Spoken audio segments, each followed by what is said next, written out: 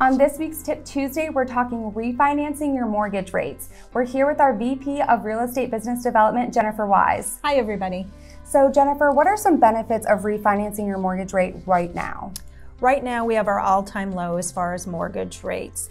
Even if you had A++ plus credit four years ago, still a good time to come in and see how we could actually look at lowering your rate. What are some of the benefits of refinancing with Launch? Some of the benefits as far as refinancing with Launch is we do not sell off our loans here. We will always service your loan.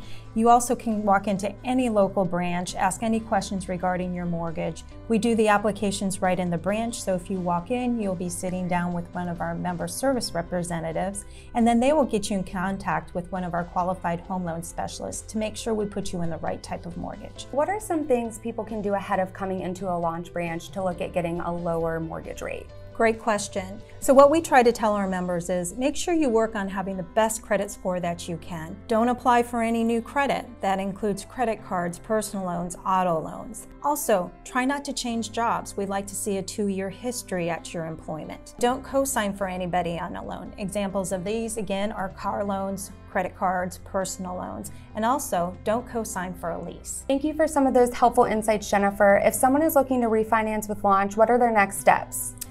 They could go ahead and go to our website and they can apply for a mortgage online, or they can come into one of their local launch branches and sit down with one of our employees.